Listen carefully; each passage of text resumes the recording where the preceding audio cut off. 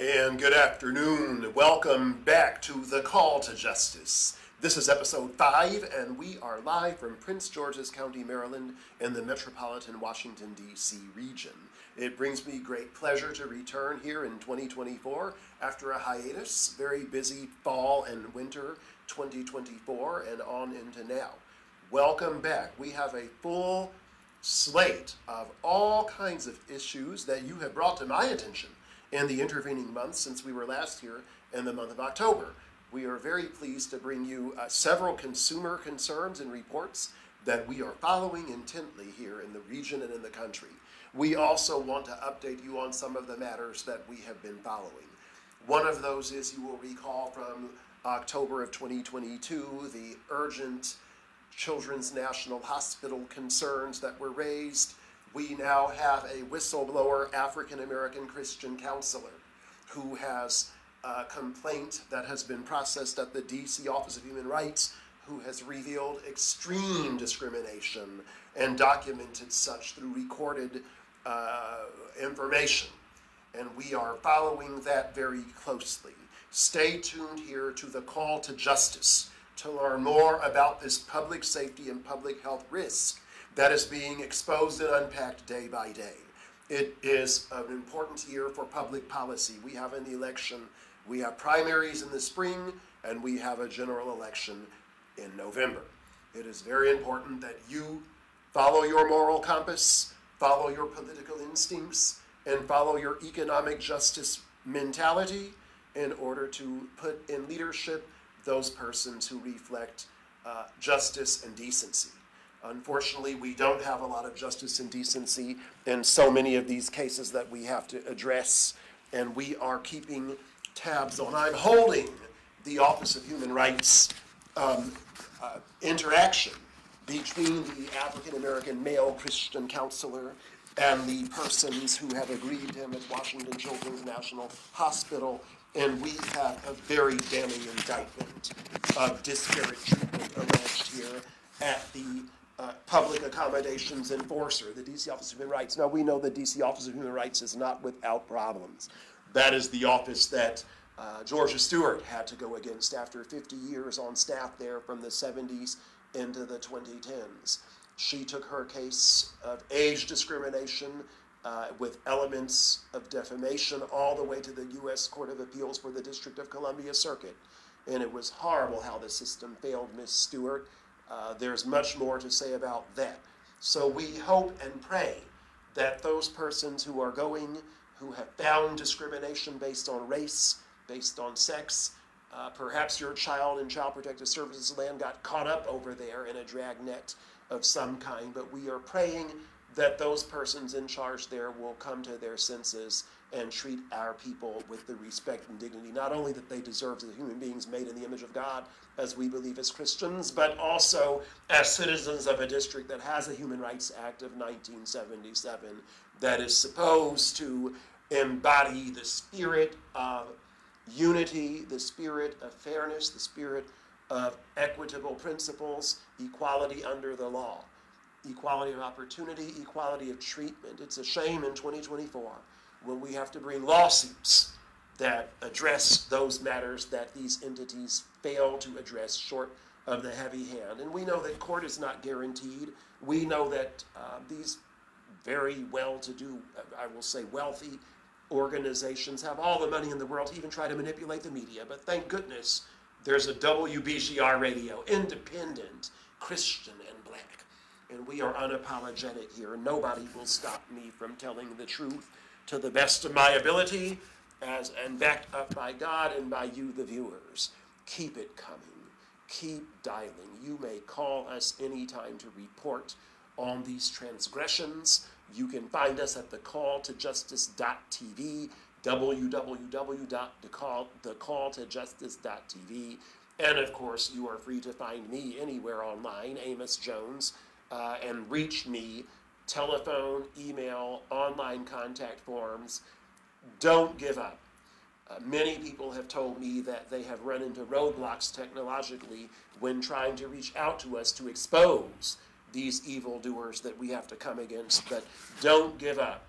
You can even call into the show if you see no other way, you're welcome during this live hour we have at high noon every Saturday here on WBGR, Believing in God Radio, here on The Call to Justice. So we're watching that.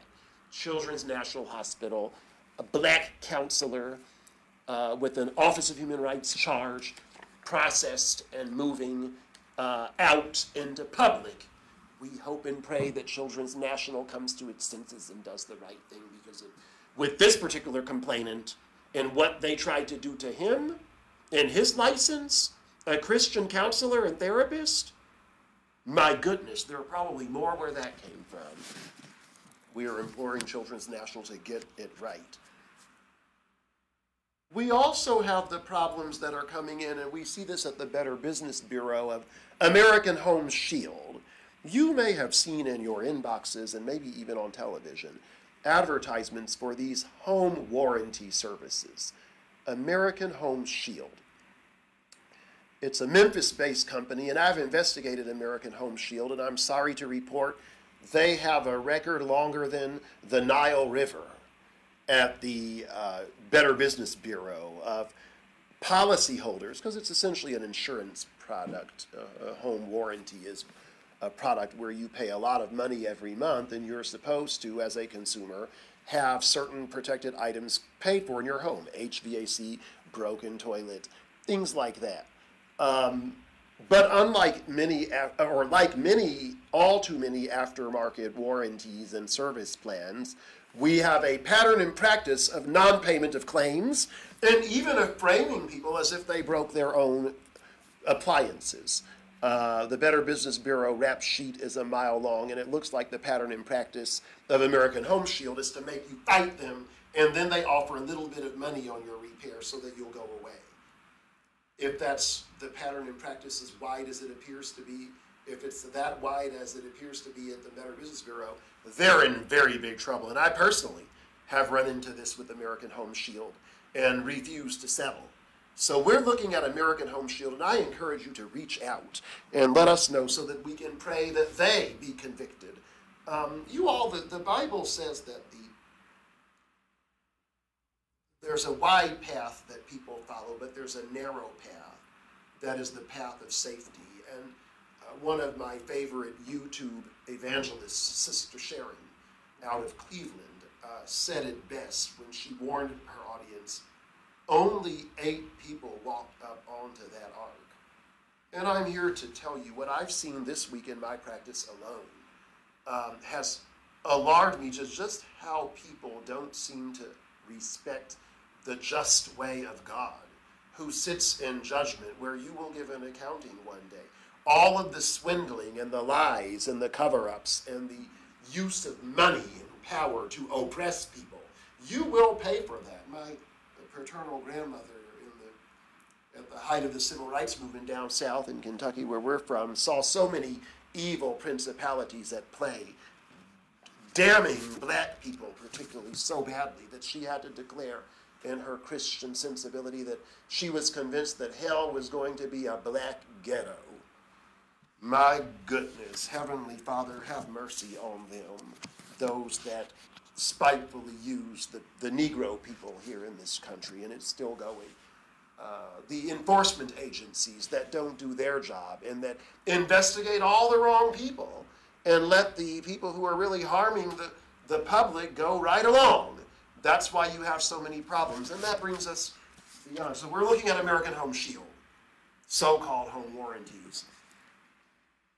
We have reports now at the City of Alexandria Police Department that they are impounding vehicles without due process of notice to vehicles, people parking vehicles, that they are not giving 72 hours notice of cars parked on streets for 72 hours or more, which of course must be moved under Alexandria's ordinances.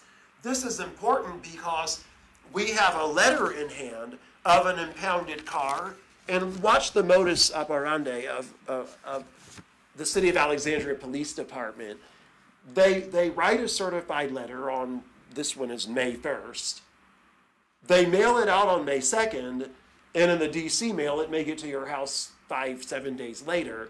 but you're racking up an impoundment fee of fifty dollars a day plus a two hundred and fifteen dollar fee. Uh, they don't give you those schedules directly in the letter. You have to figure it out. This is reported to me. And they announce to claim your vehicle, you must appear at the city impound lot, which is on Eisenhower Avenue in South Alexandria, between 8 a.m. and 6:45 p.m. Monday through Friday. This letter that we have in our possession dated Thursday, May 2nd, says, um, and, and, and for an impounded car from May 1st of 2024 says, you must appear at the impound lot between 8 o'clock a.m. and 6:45 p.m. There at the City of Alexandria Police Department, Department of Traffic Control at 5249 Eisenhower Avenue. So you go there at, I don't know, 6:25 p.m. and within the window on Friday evening after work, only to find that there are large permanent metal signs that say hours of operation 8 a.m. to 5 p.m. Why does the city of Alexandria lie in these letters going out to victimize persons who were not notified these parking tickets that say you've been there for 72 hours and must move under the ordinance are supposed to give you a 72 hour uh, lead time to move your car. But the ticket that we found in their system that was not noticed to this particular owner of the vehicle was there on the same day may 1st they placed the ticket and then impounded the car right away. And there were no outstanding tickets other than that one. So not only do you not have 72 hours notice per the ordinance to move your car, but you have no knowledge of the ticket because they whirl your car away while they haven't given you time to get the ticket. And then they, they know that it's going to take several days while they rack up $50 a day to get the letter to you, and then they close an hour and 45 minutes earlier than they claim. This is what I call a racket. How could a city government, Alexandria established in 1749, be that illiterate slash incompetent slash unaware of their constitutional uh, obligations to provide due process to citizens? How did we get here in the nation's capital? And what do they do with what would, that's ill-gotten gains. And so it must be happening to many people where they look up and suddenly owe $650 plus and counting. Oh, and by the way, they're not open on weekends, uh, Saturdays and Sundays. They're closed, but they still charge you uh, for the impoundment. So consumers are very upset. I want to hear from you if you're in Alexandria City and your car was impounded without notice, without ticketing, under the three-day rule. Um, parking on the street for three days, uh, more than 72 hours, a 72-hour rule. So um, if that's the case, we think where there's smoke, there's fire. We wonder why the property clerk, who is listed here in this letter that we have in our custody uh, with a funny signature, there's no name on here to be found. So we're investigating the City of Alexandria Police Department for these um, trumped up uh, and accelerated penalties as unconstitutional for lack of notice and uh, an, un, an improper taking. Call us, find us, write to us at thecalltojustice.tv as soon as you have ascertained that you or a loved one has had an impounded car under the 72 hour rule and you too have been lied to about when you can pick up that car. Five o'clock closing is a lot different from 6:45 p.m. What are working people to do? How can such a woke liberal city council in Alexandria allow a police force to run amok this way? Because that's what it is. It's called running amok. I can. We're going to invite them on to talk about it. We're going to invite the police chief so that we can have that person to explain this improper policy. We got it on tape too. We got tape on that one. So stay tuned for that expose in potential uh, action in mass. And then we have noticing now problems at the DC Attorney Client Arbitration Board, which advertises itself as a fast, efficient service for lawyers and clients who find themselves in fee disputes. And yet I'm holding in my hand um, a nearly three year running dispute that was before them for roughly two years. That's longer than the breach of contract federal lawsuit I filed in federal district court in Maryland in uh, January that was resolved and dismissed within eight weeks. Why is the attorney-client arbitration board taking so long to uh, process arbitrations? And, and why do they have all-white male panels?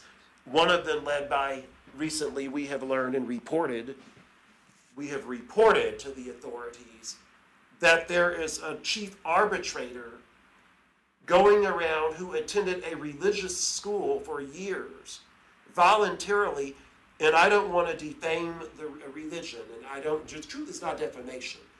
But I am so sensitive to religious freedom that even if you have a racist religion, like the one I'm about to describe to you, you have a right to have that religion in America. And if you have that right, I have my right to be a devout Martin Luther King, Jimmy Carter Baptist, which I am. Uh, an established, uh, credible, long standing, powerful faith that's how we got over. We beat the chains of white Jim Crow racism, the white racist American Bar Association. We overcame, and they were. They barred every black lawyer until the 40s. Shame on the ABA. They need to repent and pay.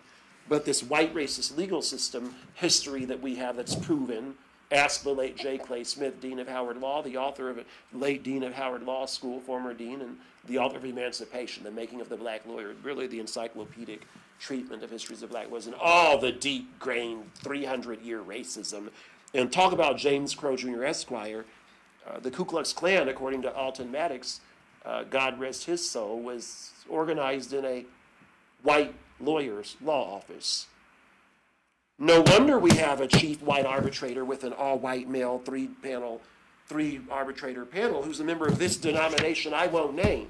It's not a Christian denomination at all but it has taught until 2013 its teachings on race, not disavowed until 2013, have included that black women and men are barred from participating in the ordinance of its temples necessary for the highest level of salvation. White people, yes. Negroes, no. Did you hear me? The article of faith barred black women and men from participating in temple ordinances necessary for the highest level of salvation. So blacks don't have a soul worthy of saving. That means that black men in particular were disfavored because this is also a religion that allows only men to be in leadership. It's an all male priesthood, this religion, non Christian religion, large religion, but not Christian and we have a chief white arbitrator coming from a school infused with this religious heritage where black people are nothing compared to whites. That's just the, I didn't write it. And this is a person the Attorney Client Arbitration Board thinks that it's supposed to place in charge. My goodness. My goodness. Um, there's a lot coming out on that in the DC Superior Court. And we owe it to the public in the interest of public safety and whistleblowing on these principalities. That DC Attorney Client Arbitration Board, you need to stop with this second class treatment of black attorneys and black clients. Justice delayed is justice denied. You need to stop it. You know you're wrong, and names are being named. Time is up. This is about public safety and public interest and you're in the wrong. And somebody has to tell the truth about it who really knows the rules of arbitration and the rules of professional conduct and the rules of this low down so called religion that this white man went and studied at this school that had those views until 2013 they were disavowed and before that there was some kind of revelation in 1978 what a horrible dastard dirty and low down, all white motif. How could anybody voluntarily associate with a school for four years that does that? And what does a person like with an all white law office in Fairfax, this, this, this arbitrator, and you're putting him in the District of Columbia over African Americans? we need to look at that because what, what that person has done, um, it needs to be re- reversed. It needs to be reversed, and we need to look very hard at that. And if the authorities won't do it, we will, right here on the call to justice, in the name of Jesus. This is a television ministry. The prophet Amos in the Bible exposed unjust judges and crooked ministers. It's time to tell the truth, the whole truth, and nothing but the truth. Name by name, by name, by name, by name. Office by office, by office, by office, by office, by name. Court by court, by court, by court, by court, by name time is up.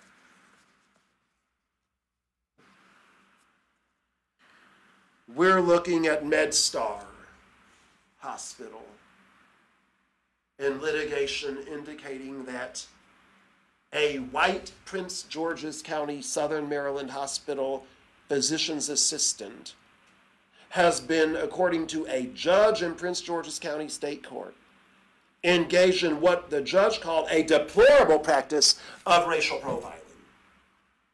In COVID, black men go to the ER needing help. White physician assistant supervisor looks them up on the internet. Why? To see whether they have criminal records. Every black man. Why, why, why? So much so that a white judge here in Prince George's County weeks ago declared that act deplorable. And the black female physician's assistant who reported it got dismissed for reporting it and based on her race. A mixed case. But for her whistleblowing, but for her blackness, she would not have been retaliated against for whistleblowing for blackness and dismissed, she alleges in her federal lawsuit. We're going to bring the, the whistleblowing victim of race discrimination, all of that. We're going to bring her story to light in the coming episodes. It's very unfortunate. And guess what? This is a physician assistant who took this dismissal to the U.S. Equal Employment Opportunity Commission in Baltimore, which found cause, probable cause, extremely rare finding at the EEOC for those of you who've ever contended with that agency. And this time, MedStar was found to have committed acts that led the government to declare probable cause that there was race discrimination in employment and retaliation in employment of this stalwart African American wife, mother of three, physician assistant who in COVID served the public in scrubs. Her daughters couldn't even hug her when she would get home. She was a frontline medical service personnel. And MedStar dismissed her, and now they're fighting her. They have accused that black woman of everything being a child of God. Shame on MedStar. We're asking them to repent. And it's, it's, it's popping in the federal court. It's popping. And then finally today, there's the problem of Geico Insurance, which is a, a company I have found to be a fine insurer. But we don't know what on earth is going on with the diminished value department that has given a runaround this diminished value department including the executive office complaints line, to another whistleblower on Geico, whom we will pseudonymously term Cora. And we have Cora live on the line to talk about Stephen Huber, Nicholas Rosinski, Joseph Gilo, Jennifer Donisick, what on earth is going on where a diminished value claim has taken how long, Cora, on the line? Cora, you're on the line. You are amped on speaker. Cora, how long have you been in this Your Car Got Bashed, beautiful, nearly brand new, months old Chevrolet Volt, bashed on the bridge coming into Washington by Geico's insured. Therefore, diminished value of her vehicle is in order. Geico hasn't paid a dime. And they've begun ignoring the lawyer, this lawyer. Cora, under pseudonym, tell us about your ordeal and how you haven't been paid a dime for the diminished value, despite the number of times you've been to the repair shop they kept sending you to who messed up your car. Tell us the story. Um, hi, Amos. How are you? It's good to hear your voice, Cora. I'm fine. Welcome to WBGR. Thank you. So basically, the accident happened on August 2023. I, my car is brand new, as you stated.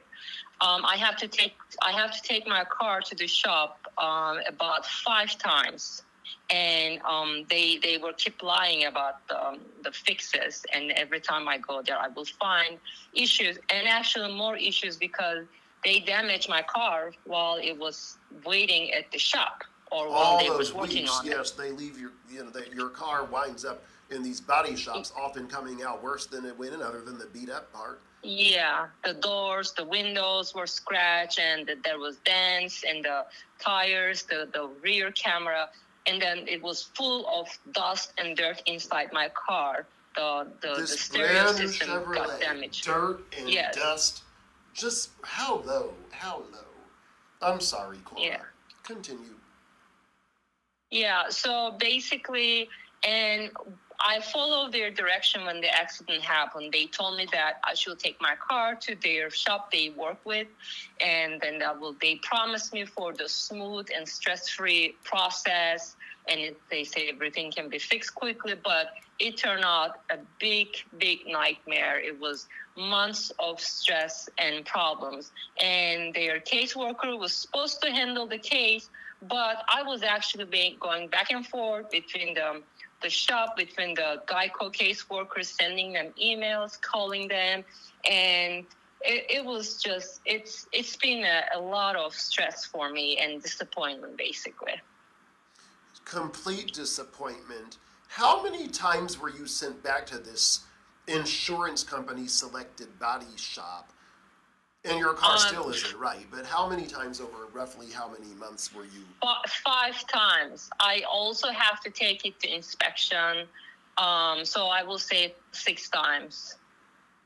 And there was a diminished value process. And was your car ever observed by uh, the insurance company to provide your uh, amount of money you should get for diminished value? And diminished value audience is the when you have a late model, very newer type car that gets hit, it can never be mm-hmm. certified pre-owned again, and other things. Mm-hmm. So there's something called a diminished value it's mm-hmm. worthless than it was. Yeah. And the job of the insurance company is to look at that and pay a claim. Um, Yes. were you given a value?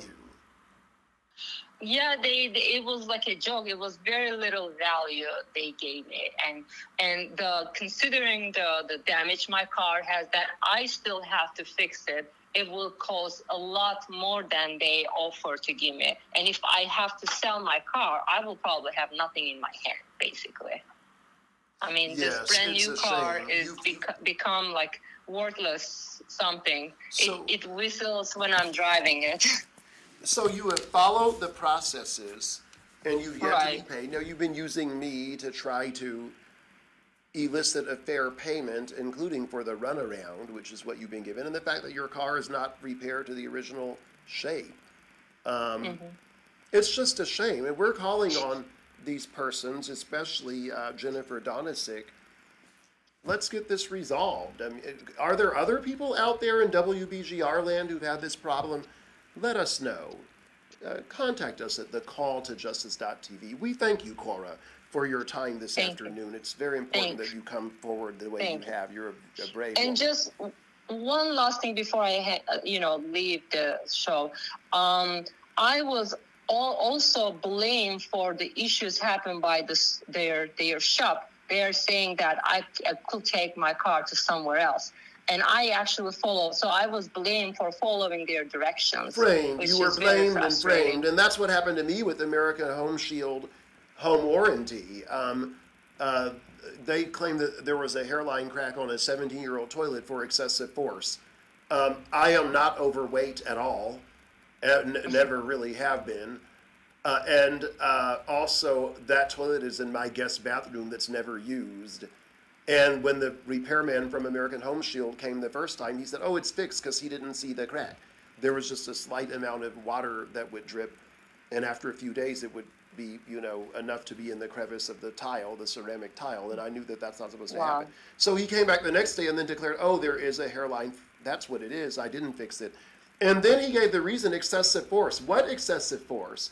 I found out that old toilets that happens to. What's the point of a home warranty that you pay all this money into when they lie? Just lies. And I refuse to accept the settlement that you've been offered, a, you know, a settlement diminished value. No. We will have to do a class action, bad faith. And I'm getting the federal regulatory officials involved at the FTC. What a shame.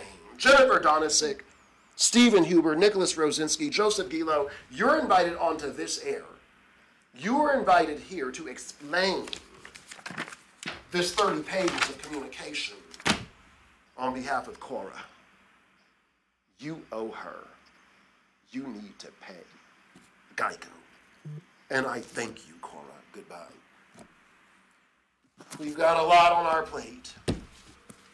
It's a very difficult path.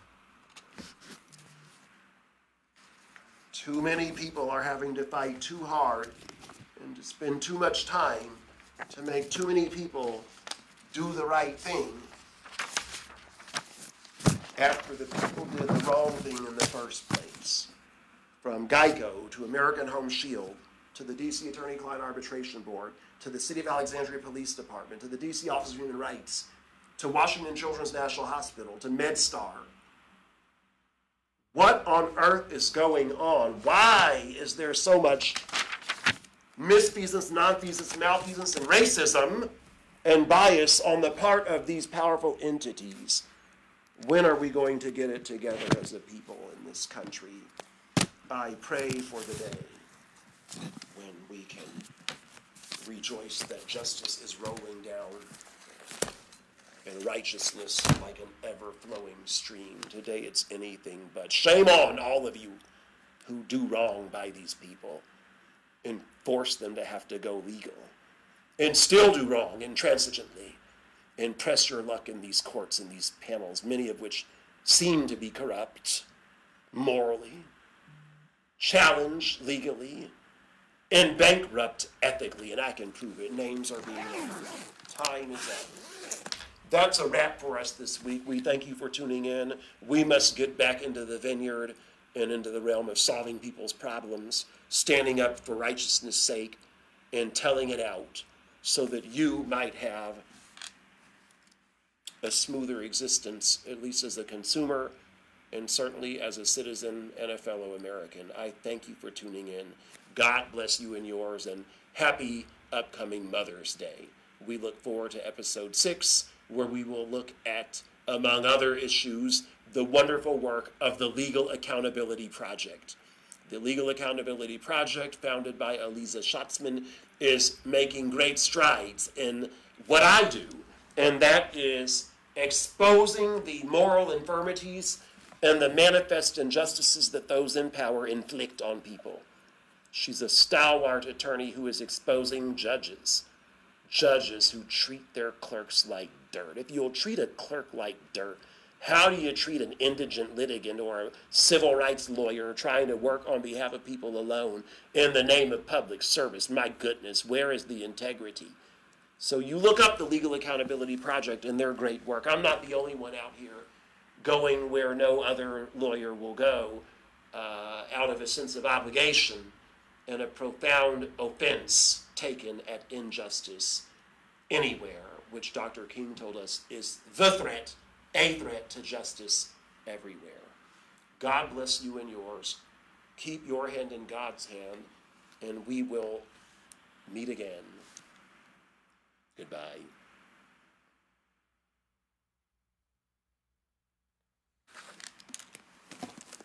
you